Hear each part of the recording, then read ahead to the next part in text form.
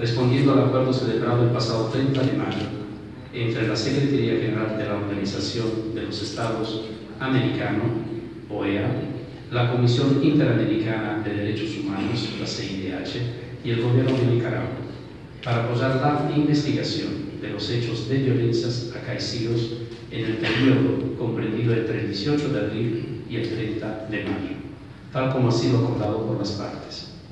El mandato es de seis meses con posibilidad de prórroga.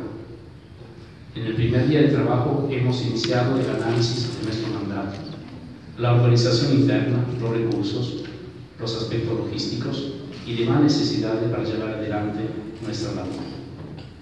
Nuestro mandato tiene dos aspectos fundamentales.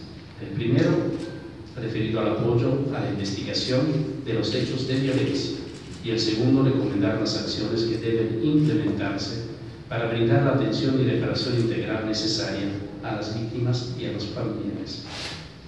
Para el cumplimiento de estos objetivos, el Estado se comprometió en el acuerdo a garantizar al GEI el acceso a los expedientes tramitados por el Ministerio Público, el acceso a la información pública, las instalaciones, infraestructuras, recursos y medios necesarios y la seguridad para realizar nuestro trabajo.